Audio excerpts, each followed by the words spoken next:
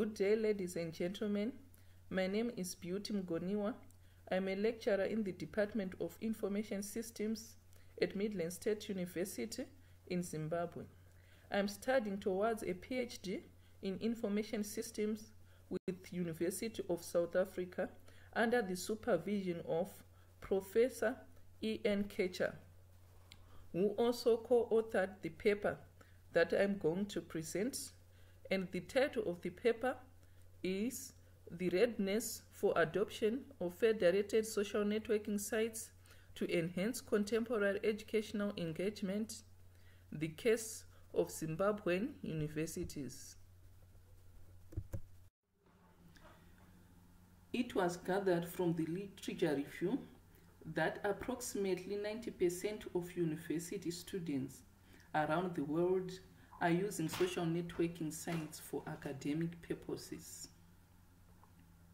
This research was motivated by the fact that students are limited when it comes to exporting academic material from one social networking site to the other. That means they won't be able to share much needed academic content. So the study proposed to integrate users from those different social networking platforms to a more decentralized structure so that academic interoperability and transparent can be achieved.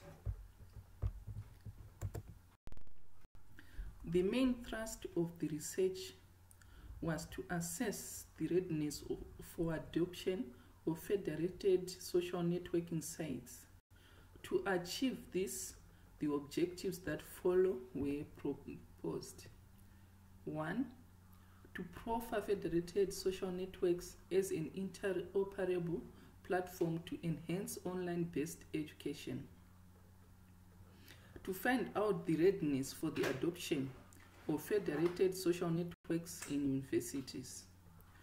To ascertain the imperativeness of federated social networks to contemporary education. And lastly, to identify challenges associated with the adoption of federated social networks in the academic environment. A naturalist philosophical paradigm was adopted and on an interpretivist view, which argued that the reality of the world is constructed by the participants' view, opinions, attitudes, and behavior, at the same time differing one another through experience and expectations. This is according to the paper by Baboons, which was published in the year 2016. A qualitative strategy, particularly a multiple case design strategy, was employed. The participants in this regard were the lecturers and the students, who were chosen using expert sampling techniques from the selected five universities, targeting information systems and computer science department. A sample of 95 participants was used, which consisted of lecturers and students. Three data gathering tools were used, and these are telephone interviews, online questionnaires, and ethnography. Data analysis was done in themes guided by the interpretive, interpretivism paradigm.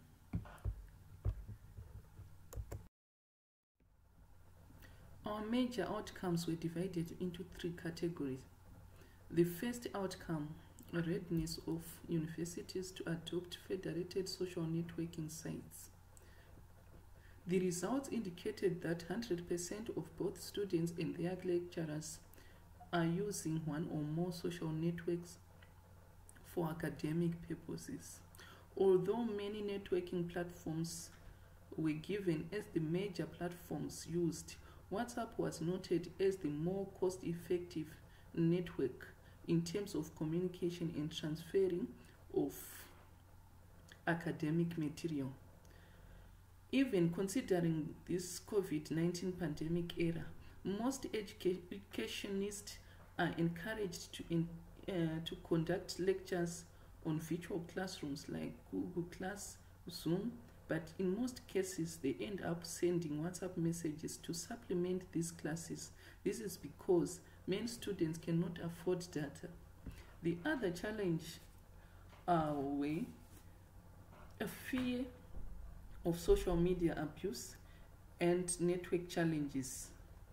LinkedIn, Twitter, Skype were some of the recurring networks mentioned, which have features of uploading, searching, and downloading content. The second outcome is the importance of federated social networking sites in higher education. An information rich educational community is expected to be harvested from the implementation of a cross platform uh, of social networking interface. The study gathered that since federated social networking sites are flexible, advanced educational diversity, discovery, and innovation can be achieved. The students are free to use a network they are comfortable with, considering, of course, if it supports what the students intend to do at that moment. The federated social networking sites protocols uh, motivate the learners to scout for more content which can be received from different plat platforms to one destination. Our last outcome was the challenges in adopting federated social networking sites. Most respondents were concerned with issues in development of federated social networking sites where they suggested that there is need for the participation of popular social networking sites such as Facebook, Twitter, Instagram, and LinkedIn. In Zimbabwe, the issues like network problems are common and these affect all network users, with some parts of the country witnessing poor or no connectivity at all. In addition, some students are not privileged enough to have gadgets that can connect to the internet for them to participate on these social networking sites. Adoption of federated social networking sites in an academic environment. For a user to participate in the federated social networking sites, there is need for the user to subscribe to at least one application in order to communicate to anyone who is also registered on any one platform from the list covered by the federated social networking site.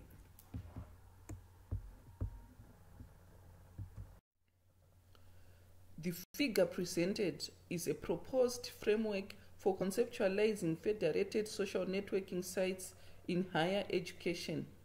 It is regarded as a peer to peer federated social networking sites with three different sites at play. These are social networking site X, social networking site Y, and social networking site Z. In this instance, each social networking site maintains its own integrity but having the ability to pass messages to other social networking sites. For instance, a lecturer using social networking site sets can communicate to a student A using social networking site X. This is because social networking site Z realizes that the student is not registered to social networking site Z but registered to social networking sites X. So it routes the message to the social networking site X using the appropriate transmission protocols. This feature is borrowed from the emailing features that enables emails to be sent across different platforms. In conclusion, 100% of the respondents agreed that the educational arena should take leverage on the advent of the latest technology of social networking sites. And 75, 71 were concerned with the need to ensure that interoperability exists between applications so as to avoid lock-in effect at the same time enhancing innovative education. 95% of the students are having difficulties with accessing social networks due to poor network, lack of data financing, and not having the right gadget to connect to the internet. In conclusion, the adoption of federated social networking sites is imperative to enhance learner-centered education. Although there are still challenges militating against full adoption, this conception, which is still under development, is highly anticipated to bring many benefits after its full implementation.